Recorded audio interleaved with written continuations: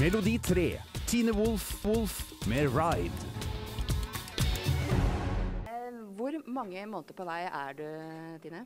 Cirka fem. Hvordan blir det å stå på scenen i dag med en, en liten baby inni magen? Eh, Det blir veldig nytt. Det har jeg ikke gjort før. Eh, Men det er også litt grann tungt.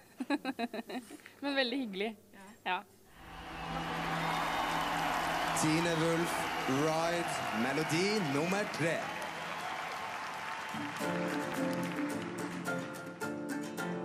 What are you gonna do when everyone turns against you? You must know in your heart where this is going. Every once in a while, you have to turn things around. Listen hard to what people say. No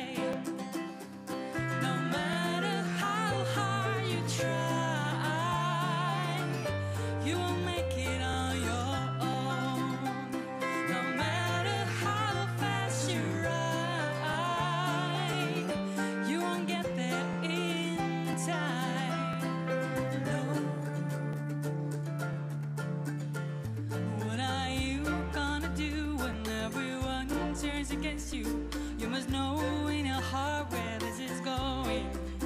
And you still have a chance to turn around.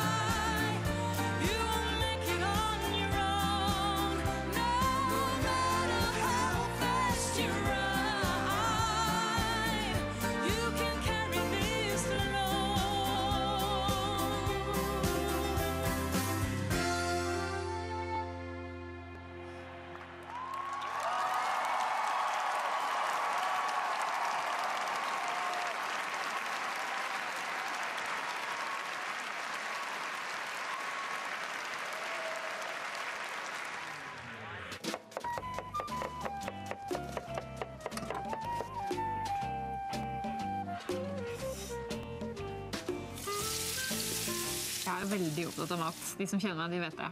Jeg er veldig opptatt av å spise god mat. Hver gang jeg lager mat, så må den være så god som det er mulig å lage den. Så jeg, bruker alltid veldig lang tid på kjøkkenet.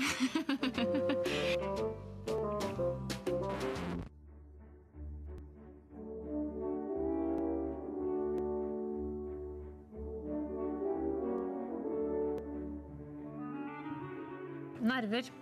Det har jeg helt bevisst utsatt. Jeg, jeg har blokka det helt ut. Men eh, når jeg står på, da skal jeg være Da skal jeg være kjempeflink.